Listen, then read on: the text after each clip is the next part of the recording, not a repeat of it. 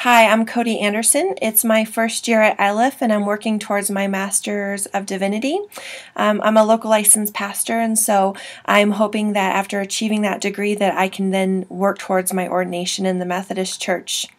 One of the places that I have recently had that intersection of wealth and theology has been um, in our winter shelter that we have here in our church.